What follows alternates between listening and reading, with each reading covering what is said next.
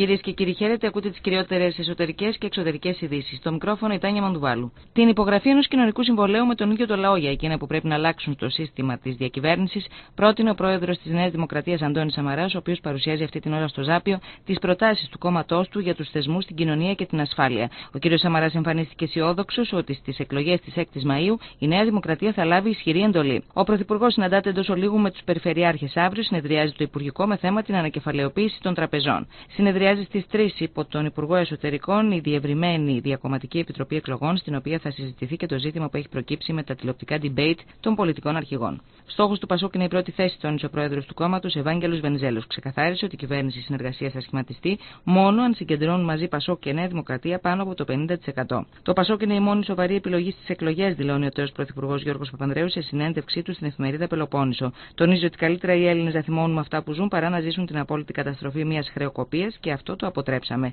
Ερωτηθείς για τις περικοπές μισθών συντάξεων και την αύξηση της ανεργίας, ο πρώην Πρωθυπουργός ζήτησε εκ μέρους όλου του πολιτικού κόσμου συγγνώμη. Η Αλέκα Παπαρίγα παρεχωρεί αυτή την ώρα συνέντευξη τύπου με θέμα τα προβλήματα των νέων. Ο Αλέξης Τσίπρας μιλά το βράδυ σε ανοιχτή πολιτική συγκέντρωση στην παραλία του Βόλου. Στη Θεσσαλία περιοδεύει αύριο και μεθαύριο ο Φώτης Κουβέλης. Ο Πάνος Καμένος συνεχίζει την περιοδία του στη Μακεδονία και επισκέπτεται το εργοστάσιο της ΔΕΗ στην Πτολεμαίδα και στη συνέχεια θα μεταβεί στα Γρεβενά. Διακαναλική συνέντευξη θα παραχωρήσει πρόεδρος της Κοινωνικής Συμφωνίας Λούκα Κατσέλη, η οποία νωρίτερα θα παρουσιάσει τις προτάσεις του κόμματος για τα υπερχρεωμένα νοικοκυριά. Το πράσινο φως σε 32 κόμματα συνασπισμούς κομμάτων και μεμονωμένους υποψηφίους για να συμμετέχουν στην εκλογική αναμέτρηση της 6η Μαου έδωσε το πρώτο τμήμα του Αρίου Πάγου. Στο ανώτατο δικαστήριο είχαν καταθέσει δηλώσεις συμμετοχής για βουλευτικές εκλογές 36 κόμματα, συνασπισμοί κομμάτων, συνδυασμοί ανεξάρτητων υποψηφίων και μεμονωμένοι βουλευτές. Σοκ στην πανεπιστημιακή κοινότητα έχει προκαλέσει η αυτοκτονία 38χρονου λέκτορα του Πανεπιστημίου Αθηνών, ο οποίος αν και εκλέχθηκε στη θέση αυτή ήταν επί δύο χρόνια αδιόριστος λόγω του παγώματος των διορισμών.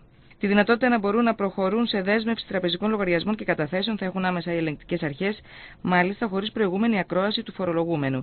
Επιπλέον, σύμφωνα με απόφαση του αναπληρωτή Υπουργού Οικονομικών Παντελή νόμου, η δέσμευση θα γίνεται ακόμα και στις περιπτώσεις που δεν έχει αποδειχθεί η φοροδιαφυγή, αλλά υπάρχουν στοιχεία για αυτήν. Έτσι, οι ελεγκτικές αρχές θα μπορούν πλέον να προχωρούν σε δέσμευση καταθέσεων για να διασφαλίσουν τα συμφέροντα του δημοσίου και ακολούθως μέσα σε 15 ημέρες θα επιδίδουν στον υπόχρεο κλίση για ακρόαση για τις διαπιστώσεις που καταγράφηκαν στην ειδική έκθεση ελέγχου.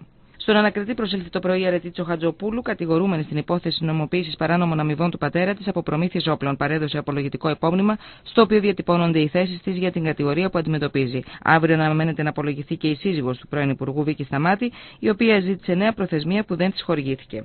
Εξωτερικές ειδήσεις. Έως και 70 άνθρωποι σκοτώθηκαν σε επίθεση σε σπίτι στη Νότια Χάμα, σύμφωνα με Σύρους ακτιβιστές. Οι ίδιες πηγές αναφέρουν ότι πολλά σπίτια έχουν καταστραφεί από ισχυρή έκρηξη. Τα κρατικά μέσα, ωστόσο, μεταδίδουν ότι 16 άνθρωποι σκοτώθηκαν σε σπίτι που χρησιμοποιείται ως βιομηχανία κατασκευής βομβών από ένοπλες τρομοκρατικές ομάδες. Για δεύτερη μέρα καταθέτει σήμερα ο Ρούπερτ Μέρτοχ ενώπιον της Επιτροπής Λίβενσον για τις πρακτικές στα μέσα μαζικής ενημέρωσης. Ο μεγιστάνας των μέσων μαζικής ενημέρωσης θα κληθεί να καταθέσει για το θέμα των υποκλοπών.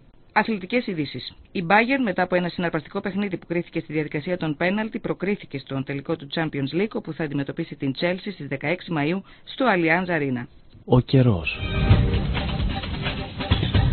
Έθριος καιρός επικρατεί σε όλη τη χώρα, η άνεμη πλέον βόρειη μέχρι ισχυρή και η θερμοκρασία φτάνει στους 26 βαθμούς. Έθριο καιρό μέτριου βορειάδες και θερμοκρασία στους 26 και 25 βαθμούς αντίστοιχα έχουν Αθήνα και Θεσσαλονίκη. Κυρίες και κύριοι, επόμενη ενημέρωσή σας σε μία ώρα.